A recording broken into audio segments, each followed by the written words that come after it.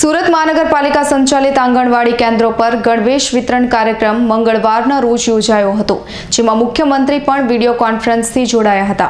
મંગળવાર ઓગણત્રીસ જૂનના રોજ મુખ્યમંત્રી વિજય રૂપાણીની અધ્યક્ષ સ્થાને આંગણવાડી કેન્દ્રના ત્રણથી છ વર્ષના બાળકોને ગણવેશ વિતરણ કાર્યક્રમ જીસ્વાન મારફતે વીડિયો કોન્ફરન્સથી યોજાયો હતો, જેમાં સુરત મહાનગરપાલિકા હસ્તક આવતી એક હજાર બાણું આંગણવાડી કેન્દ્રોમાં છવ્વીસ હજાર ત્રણસો એકતાળીસ બાળકોને પ્રતિદીઠ બે જોડી, એમ કુલ બાવન હજાર છસો બ્યાસી ગણવેશ વિતરણ કરવામાં આવ્યા હતા, જેની પ્રતિકરૂપે સુરત મહાનગરપાલિકાના દસ બાળકોને હાલ ગણવેશ વિતરણ કરાયા હતા, જ્યારે તમામ બાળકોને ઝોનમાં ગણવેશ વિતરણ કરાશે.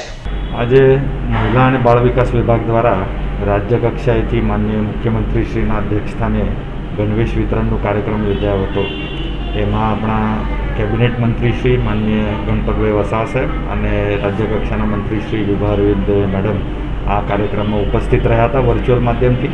તેત્રીસે તેત્રીસ જિલ્લાઓમાં આ જિલ્લા પંચાયતના માર્ગદર્શન હેઠળ કાર્યક્રમ યોજાયો હતો અને રાજ્ય કક્ષાએ મહિલા અને બાળ વિકાસ વિભાગ દ્વારા એ કાર્યક્રમ રાખ્યો હતો. એમાં છેલ્લા દોઢ વર્ષના સમયગાળામાં આપણે કોવિડના લીધે આંગણવાડીઓ અને પ્રાથમિક શાળાઓ બધી બંધ હતી. તો એના લીધે જે બાળકોમાં માનસિક અને શૈક્ષણિક અને શારીરિક વિકાસમાં જે ખામી રહી ગઈ છે, એ આપણે વર્ચ્યુઅલ માધ્યમથી દૂર કરવાનો ઘણો બધો પ્રયત્ન કર્યો.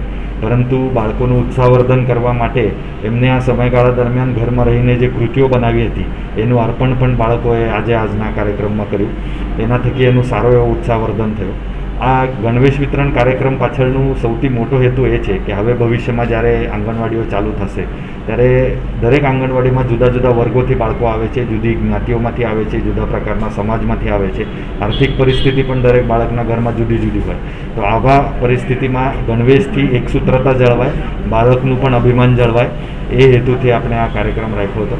દરેક શાળાઓમાં આંગણવાડીઓમાં આજે આનું વિતરણ થયું. પ્રતિકાત્મક રૂપે આપણે નવ તાલુકાઓમાંથી નવ બાળકોનું આજે અહીંયા કાર્યક્રમમાં ગણવેશ વિતરણ કર્યું.